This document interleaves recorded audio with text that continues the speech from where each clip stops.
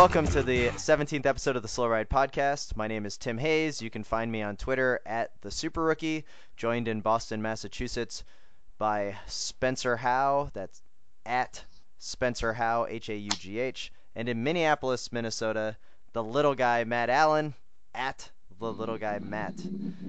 So, gentlemen, the Tour de France is almost. We're, we're second Sunday. We have one more stage tomorrow before we reach our rest day. Um, lots of excitement going on there. The big news, of course, is Chris Froome is no longer in the race, which is good news for us because we all subscribe to the Don't Choose Chris Froome for your Velo Games Fantasy Yeah. League, which we'll get to in a moment. But the big news is how mad do you think Sky is that they didn't bring Wiggins? I, I think they're okay with it. I think they're over Wiggins. I think he broke their heart. They're just they're all Port crazy. I think. So I you, think they so, actually are in love with Port. So they're all about the little glasses of wine or into Richie Porte? They're into Richie Porte. Probably not the little glass of wine. I don't even think they have any Portu- riders from Portugal on their team. Isn't Richie Porte? Where's he from? He's from Tasmania. He's Australian. He's he's a Tassie. I don't know what they're actually called. I don't know. Are Tasmanians Australian or are they just part of the Commonwealth? We don't want to offend our Tasmanian listener. Probably Um, right right I'm now. pretty sure they're bottom the Australian, world. but Really? We're, I didn't know I'm he was getting from an Australia. angry email right now. Yeah. I bet it's one of those it's like it's like if you said like, oh, people from Minnesota are basically people from Wisconsin. No. I mean, they are. No, they're not. So, so Spencer, do you think it's a big deal that Wiggins isn't around?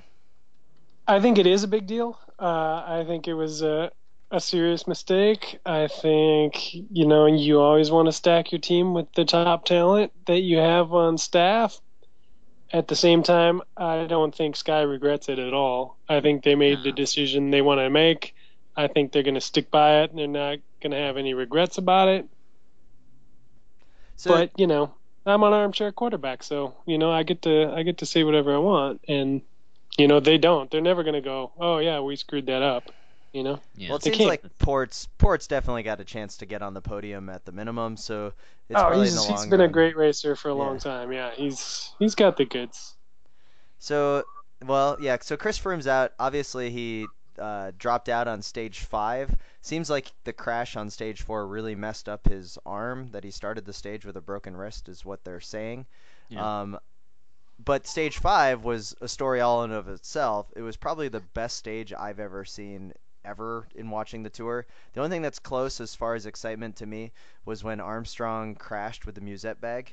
Um, This that is your was favorite moment of all time. well, that was a really exciting moment. That was exciting. You know, you're like, oh man, what's gonna happen? Then of course he went all like Lance and had to win and made it ridiculous. But ruining the moment.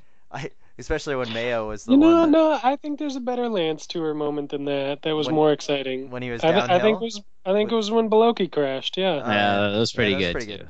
and then uh, that and then blew my Phil. Phil Sherwen or Paul Liggett uh, was sitting there the whole time. Uh, I get them mixed up because they're both horrible.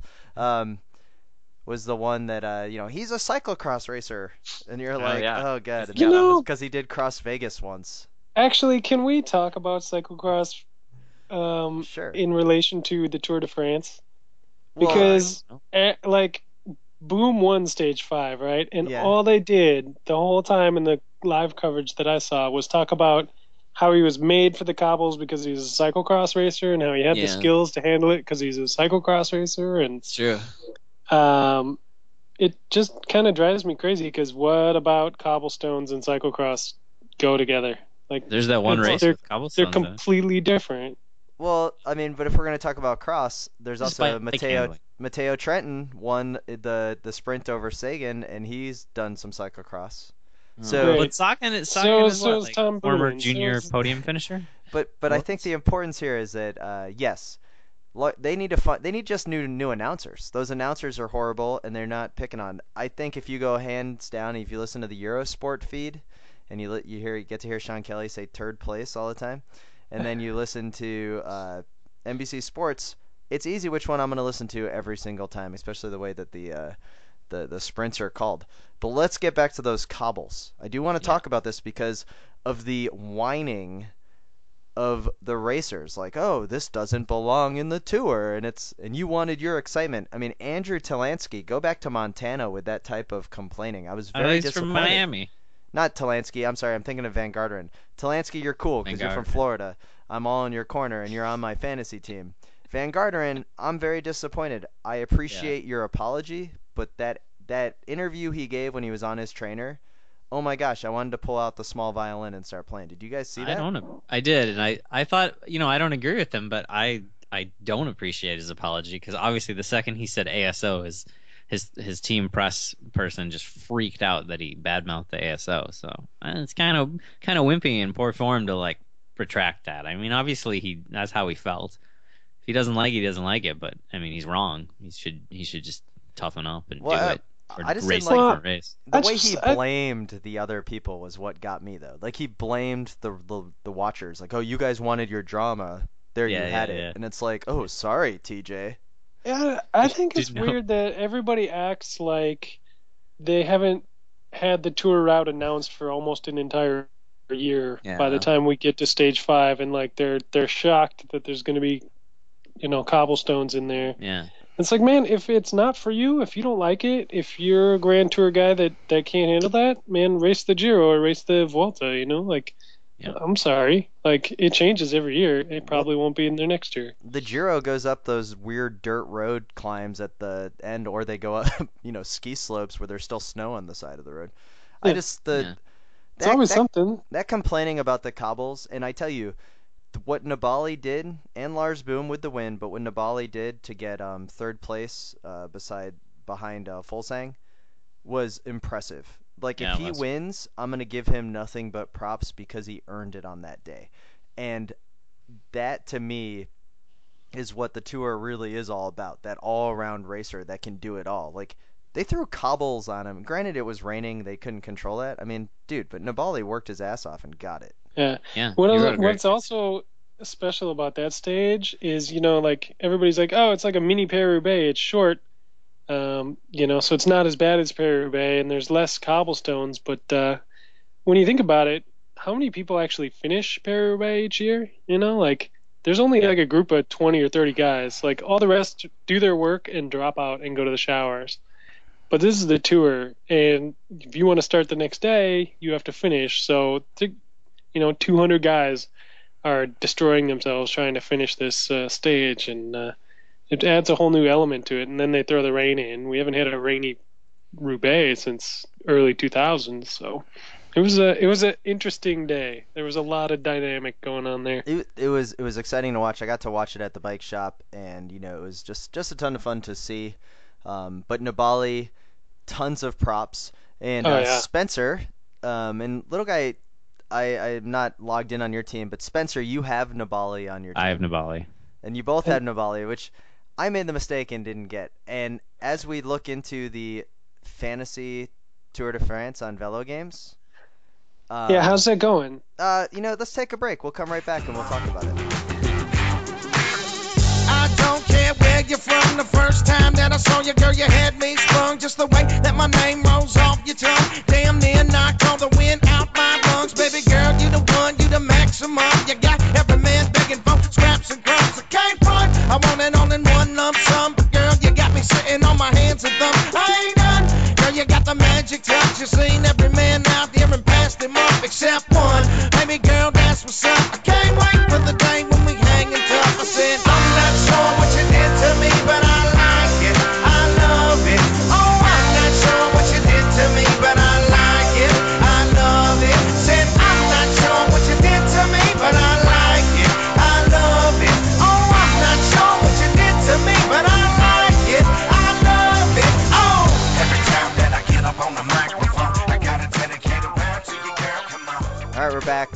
this is sadness for me is that we have to talk about the VeloGames um, Slow Ride Podcast Super Fantasy League Tour de France. I had the lead for the first eight stages, and then comes stage nine. Spencer and his squad, the Fignon Aerodynamics, takes first place among the three of us, and he has roughly a 150 point lead on me. And little guy, I'm scrolling down Is there you are. Um, you're down there in 22nd place. Yes. So yeah, I'm coming. I'm coming up. um, Don't I do want to give a shout out to Dot and Dot's boys, and also Paul Messel and the Quick Release. Both these two individuals have squads that are ranking near the top. You, you know what's special Um, about Dot's team is uh, it had Cavendish on it, so they're running a man short and still winning our league.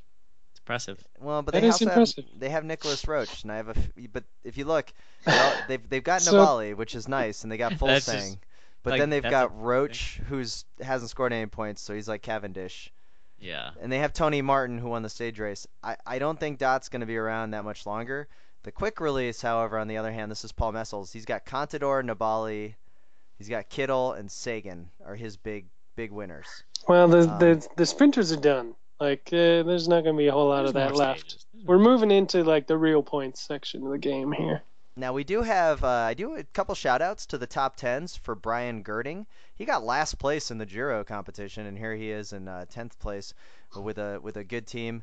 Uh, my favorite team name, I, I really went through these to look to see, is Summer's Eve Racing, presented by Viagra.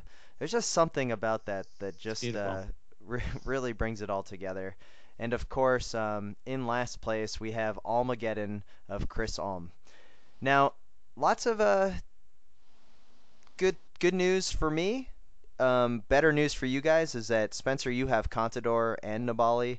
Um, little guy, you have just Nibali. So I think that you guys are definitely going to get some more points than me in the long run. But I'm Don't holding out.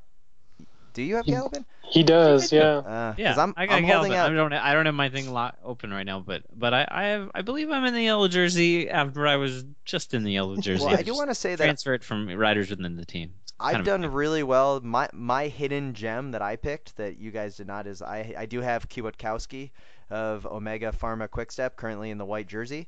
I think he's Hmm. riding really strong, and there's always that competition of can he be a Grand Tour winner? And right now he's showing that he belongs there. Never heard of him. Yeah, is he a rider or is he like on one of just one of the support staff? So if we're looking at Velo games, I'm definitely uh, trending down. Spencer's trending up, and little guy, you're way down. So. Um, there, there we have it. Uh, the Slow Ride podcast. Wait till tomorrow, my friend. So tomorrow's stage, stage ten, um, has lots of up and downs, and then we have the the weird the rest day on Tuesday. Now normally we have rest days on Monday, right? Yeah, I like this because I have uh, I don't have anything to do tomorrow, and uh, so I can watch the stage. Sometimes It's a a, lot of day, times I have Mondays off, and then it's a rest day, and that really brings me down. But they worked out their schedule this year. Finally, I've been sending some emails to the tour, but they finally got it together for me. So how long does Gallopin keep this jersey? Do you think? Um, I think he'll fight and keep it tomorrow. Keep it to Of the course, rest day it's at least. 'cause Bastille Day. It's, it's Bastille Day. He's got to keep it. A Frenchman in Jersey can't lose it. He's gonna, he's gonna really dig deep. It's gonna be beautiful. So is that why the uh, rest day is on Tuesday this year? Because uh, Bastille Day re- uh, falls on Probably. Monday. Probably, yeah, I would think so. They they got to have a stage on Bastille Day, and now with a Frenchman in it, obviously it was well worth pushing the rest day back a day. So um, if we do scroll down to last place, I do want to point out that Ted King is a hundred is one hour and fifty minutes behind. Yeah. Um, he is right next to uh, Cheng Ji, which is the first ever Chinese rider for Team Giant Shimano. Um, he has a seven second advantage. So USA bringing up the rear. Um, good luck to Ted King. I do hope that you have better luck than you have been experiencing in your Tour de France career. One of these conversations that's been coming up and up um, on uh, uh, the Tour de France this year, besides the cobbles, is in Britain with the amazing crowds were these Tour de France selfies. Did you guys see these things? Where people were taking selfies on the side of the road? Yes. yeah, I saw a few of those. Now, little guy, I know that you can't take a selfie with your flip phone, but I don't have a flip phone. You know, you guys, I've never actually owned a flip phone. Do you know that? I had like a brick, and then I had a smartphone. what, how do you guys feel about the selfies? Because obviously I'm a little bit biased. Like, to me, the selfie in the middle of the race is pretty awesome because when I got Chris Horner's autograph during the middle of the race, you know, like, I can't be the one person that's like, oh, they're stupid, they're real dangerous and a real shame because I'd be the idiot that's getting the selfie during the race. However, Yeah, I like to be. think that I wouldn't would stick be. my head out into the middle of the course like I some bet of these you people would. are doing. Do you, you, you think they would knock the phone out of my you hands? you gotta find the rider who's off I the think there's a pretty good chance. down, and, yeah, uh, and I you know, think get 'em- if you were up on a mountaintop, Coach Tim would be out. We've had a couple beers. You'd be telling everybody how it is and what you know, and I'm gonna show these riders what's up. Yeah, you TJ would probably lose it on you and beat you up. Well, That's no. what Uh, well, I just run on some cobbled streets, or I'd be like, "Ooh, I'm on a sidewalk and there's some cracks in the road. Come get me, TJ." And then, you know, we'll see what happens. It's possible. You know, the tour selfies was definitely a big, big deal. Um, but you know, I think the the riders brought it upon themselves with all the selfies they were taking at the team presentation. So Well, the tour, yeah, the tour created that hashtag, and now they're mad. Like, whatever. Well, we'll be right back. A little bit about spoilers on Facebook and listener email. Every time that I get up on the microphone, I gotta dedicate a rhyme to you, girl. Come on. Come on. I don't care what they say. I'ma ride for you, girl, and that's how it's gonna stay. As long as we together, girl, I can't complain. If they talk, let them talk. How I feel won't change. Top notch, baby girl, you're off the charts. And when God made you, you know He made a work of art. Wanna be with you, girl, from the finish till the start. From dusk till dawn, and from morning till dawn. Oh my God, whenever we get on. All right, so guys, one you know it's Tour de France time when our Facebook pages light up with people saying things like don't spoil what happened at the tour because I didn't have a chance to watch it. Like don't list who won hmm or I'm going to unfriend you. I, I was getting threats from Somebody's my Facebook unfriend you. friends. I think know. they're just looking for a reason to unfriend you.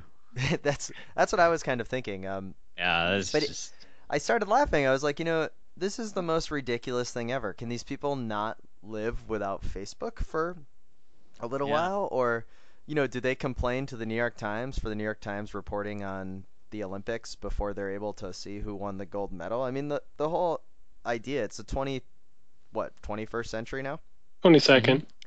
Can't twenty first. Yeah, you're right. No, Spencer's wrong. You're right. can't, Typical.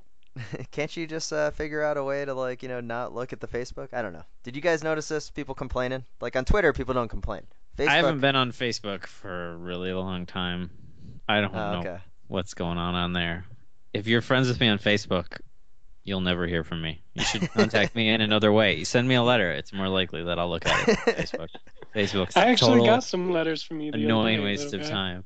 Yeah, Yeah, yeah, you did. Nice. I got those 'em? postcards. Yeah, I got like ten up? postcards all at once. Nah, it wasn't that many. The spoilers on Facebook, I'm a big fan of just, you know, announcing who won and just ruining people's day if they have to go on the internet to find out. You you uh, are pretty know. famous for ruining pretty much everything. This uh this does bring us to our um one of our viewer emails. You can always email us at the slow ride podcast at gmail.com. And last week we we talked about the art of ten damming someone, right? The the idea that you can snot all over them if you want to get them away from you while you're riding on the trail. So this the hung, the hanger-ons.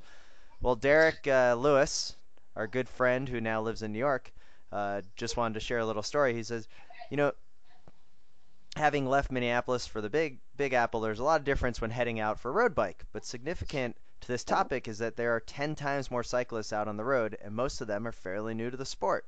And so he continues, being new to the sport, there will be a ton of etiquette missing that you can only learn the hard way. So one issue that happens a lot is that a new cyclist will pride themselves with the goal of hanging on your wheel. It's usually just for a few of my buddies out on a social ride, and someone has just latched on. It's a badge of honor not to be dropped, I guess. But as Spencer points out, it's just wrong. So here's my analogy that I think Spencer will agree on. If three buddies are out one night at the bar and have a booth just catching up, telling stories, and having a drink, a stranger who is alone walks up and sits down in your booth. I guess technically you're at a bar, so it should be social, but you're catching up with your friends. But worse, this stranger doesn't actually ask you if he can sit at their table. He just drinks his beer next to you. Now imagine this stranger who is alone asks nicely if he can sit at your table in the open seat. I guess if you and your friends are in the mood to see, meet someone new, you can take pity on them and being alone and offer him a seat. However, most often you don't get enough time with your good friends and you just want to chat them up and tell them about your job, wife, kids, or whatever and hear their stories. So there you go. Don't sit in the booth with someone so you don't ride with them on the group ride. You 10 damn them. It's I- just I- not I- all I- over them. I do Okay. agree with the analogy. It's it's a good uh, you know it puts it in perspective for people that maybe don't uh, don't think about it You know, you're like, I wanna I wanna ride fast, and this guy's riding fast, so I'll just jump on his wheel on the bike Yeah. path and and Yeah. uh, you know get in a good workout. And you know, that- yeah, it makes sense. Uh, you know, in theory, but uh, in practice, the etiquette is poor. Um, you know, always ask first if you're going to, and really, um, you're better off finding some friends of yours that are into cycling or or hanging out around the shop. You know, I'm sure you guys. You've got guys think- at Swift Cycle that come Yeah. in asking like, "Hey, when's there a group ride that I can join?" And uh, you know, you point them in the right direction, and, and then you have Exactly. that uh, that social group. So You if you meet someone new and they're just getting into riding, let them know about social group rides that are more open for people. But there is this uh, when I was in New York City um, this past week riding around Central Park, uh, it was pretty crazy. Uh, lots of uh, challenging one another, going up the climbs. Like you'd see someone and then someone would just start racing with you. It was pretty crazy because you know there's not many places to ride, but there's lots of pathlete warriors out there that are really trying to to to beat you. You got to get those KOMs, bro. Did you Kinda. win? Did you win? You know, I think I have a Strava on the Central Park Loop where I have like, you know, your time is, you know, 890th out of 10,315 people that have done this loop. You know, this is this will segue nicely into uh, uh, out, um, rehashing our out of town form conversation. yeah. uh, Okay. because uh, Timmy came up to visit me here in Boston uh, a couple weeks ago, and um, I'm just gonna say, you know, he he was riding pretty well for for out of town form, Okay. but uh, you could tell there was no hills in Florida because Yeah. uh, he was he was struggling. There was some there was some struggle. I could see it So- in in the eyes when I gave him the look, the Ullrich Lance look. Just because of hills? Because you don't know what hills are down there anymore? Ah, you know, there's there's only so many overpasses, but I Yeah. do want to say that you know the out of town form is something we've always talked about. It the first experience with the out of town form was when I lived in Chicago in 2006, and I came back to Minneapolis. I was like faster than ever. I was actually a decent Cat three, and then it all went downhill, right? Well, Yeah, then I yeah, moved as to soon as you came Florida. back, your Yeah. your out of town form went away. Because the Mhm. idea is that that you don't really know people, so you only know people through riding a bike. So therefore, you're going to ride your bike more often to hang out with people. So I had good friends in Chicago that I got to ride with, like Roller Derby, our friend Luke, that runs that great site. Rest in peace. And so as we we sat there, we we were getting better, and then I moved back to Minneapolis, and I just went to the bar all the time. Well, now fast forward to uh, this trip to go see Spencer, who were both on out of town form. Um, and Spencer's like, "Oh well, let's go ride some hills." And yeah, it was it was painful. There was a couple of hills that just kept going Yeah. and going. Kept going? Yeah, Tim- there's a couple. Terrible. times. Timmy Timmy did get me in in a sprint, uh, you know, out in Concord by uh, Dude, Walden Pond. But I won the Walden Pond sprint, and then I Good sat job. and Good pondered about job. it. but every time we turned a corner and there was another hill, I could hear an audible groan. Uh-huh. Coming from him. Maybe. The guys at the shop were making fun of me because I put a 25 tooth on my cog in the back, you know, and I was like, "Come on, guys!" And they're like, "Oh, you should run a straight block. What are you? Do you want me to put your compact cranks on too?" and I was You, you could have used them. Uh, we'll be right back with our best of the week.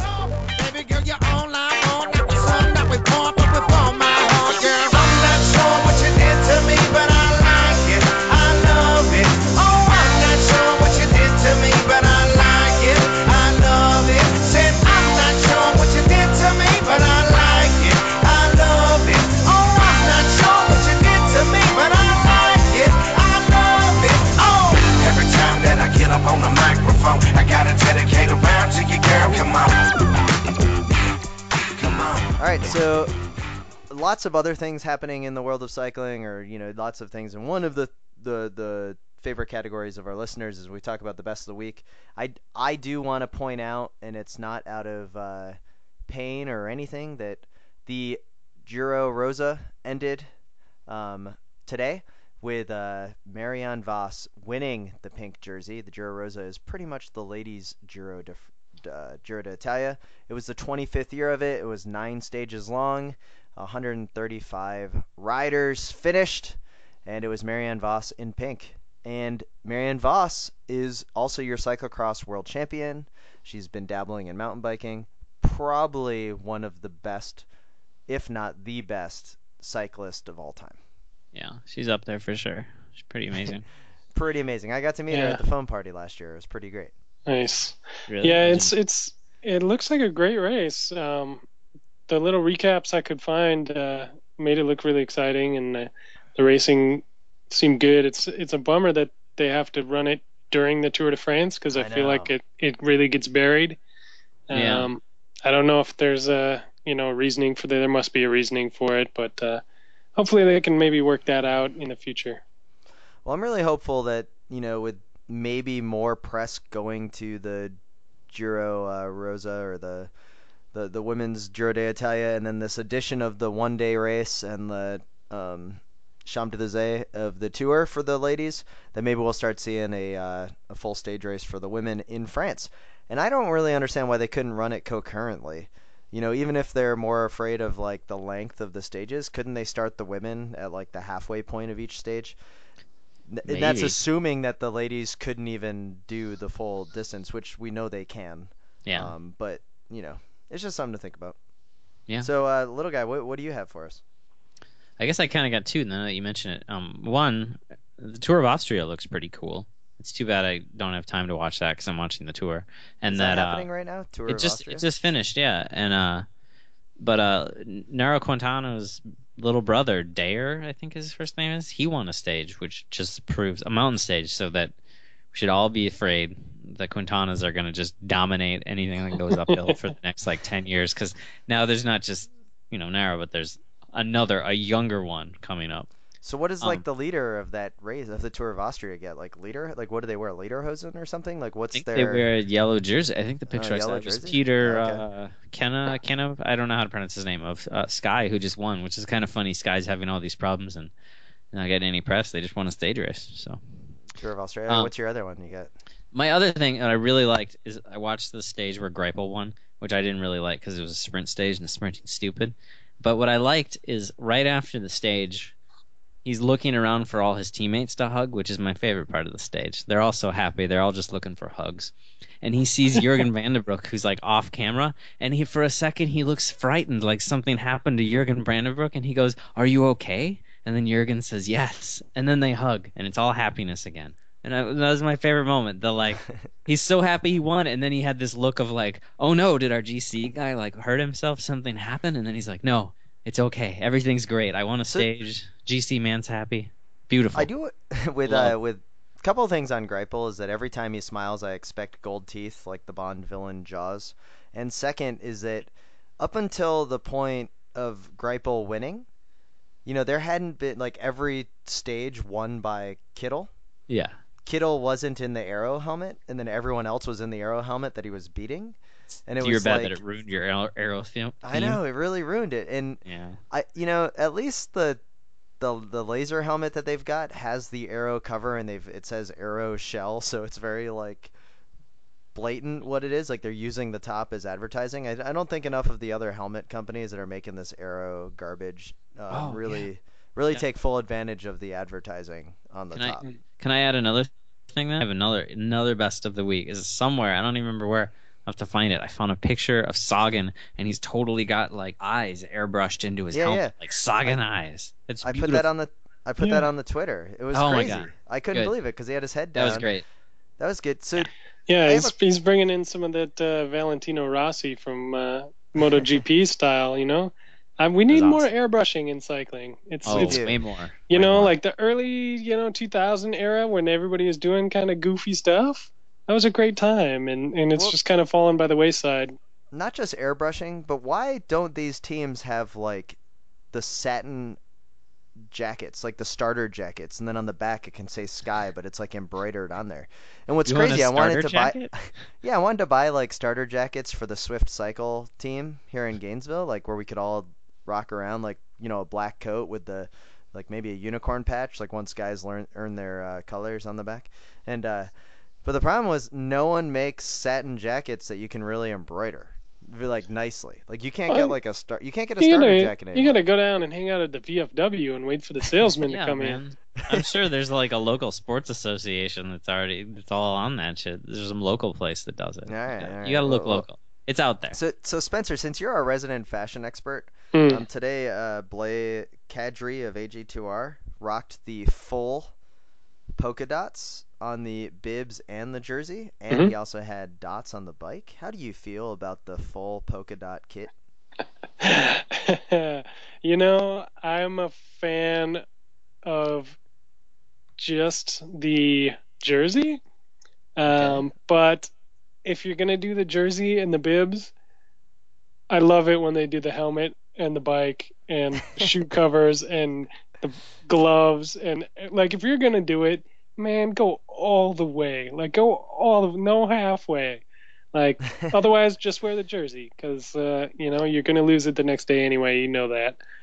So I was uh, I was happy about the bike. It's it's it's kind of fun, you know, when the team's like, because you know they've got that sitting in the trailer and they're looking at it and they're like, God, I hope we get to use this. You know, like I hope, I hope we didn't have this painted up for no reason. And uh, you know, so it makes me happy that they they brought the frame. They thought they planned ahead, and then they actually got to use it. So you know, they're excited. I want to see some polka dot bar tape. I want to see. I want to see somebody paint their fingernails with polka dots on them. You know, like go all the way, man. Just go, just do it. It's your time to shine. It's your 15 minutes.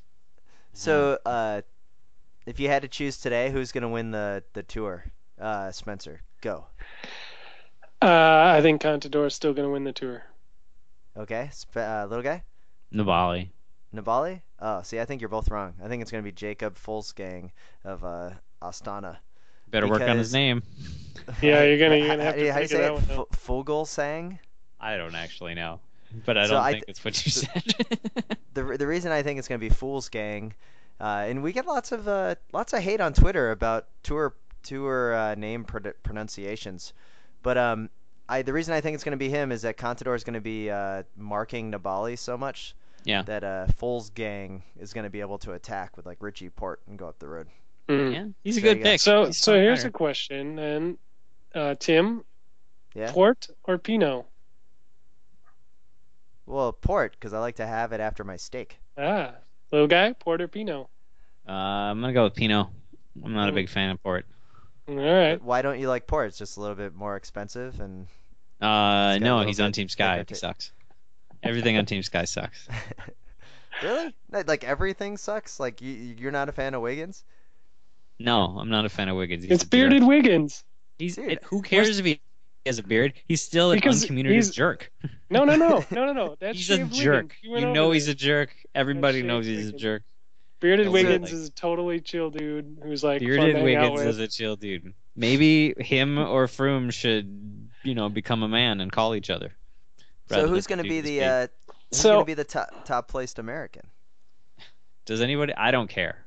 I hope all the Americans drop out because I'm so sick of the like English English rider panic that they have I- every time that non-English rider does You don't something. think Horner's going to win? oh my the- god. the- That would be amazing. That would be amazing. I just watched be a uh, a stage recap or something on the NBC uh, app, and and they were they spent like four minutes talking about Tejay Van Garderen and what he was going to do, and they had his name up across the bottom, you know, and it was like currently 13th place, and I was like, that was the only guy they talked about, and I was just like, you know, there's a guy like winning, and there's a guy in second and third and fourth and fifth and sixth, and all the way down to 13th that are, I don't know.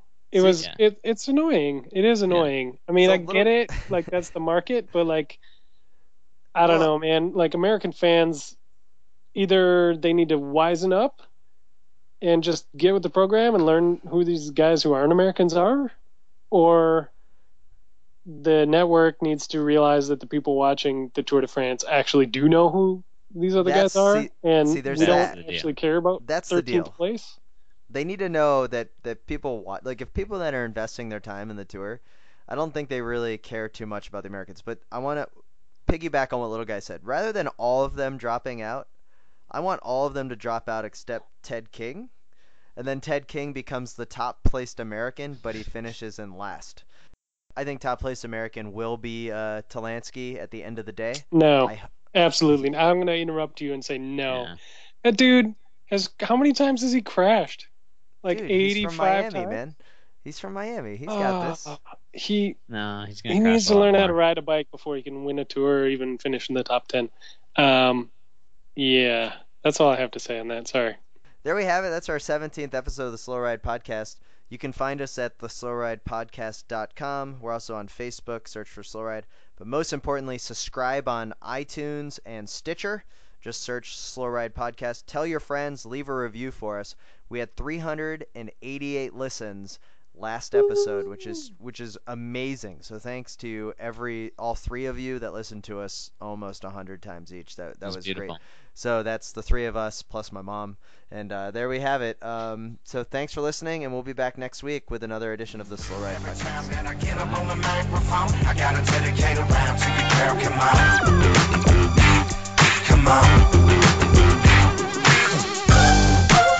so good, wanna drop it on home like a nail through wood. Uh. Girl, you look so nice every time you walk by, make a man look twice. Uh. So fine, wanna say so much. Can you make a little